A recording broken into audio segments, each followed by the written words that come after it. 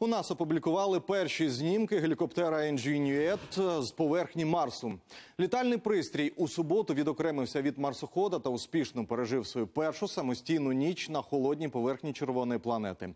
Ровер Perseverance сів на Марс 18 лютого. Ця місія має на меті зібрати інформацію та зразки ґрунту для підготовки подальшого висадження людей на цій планеті.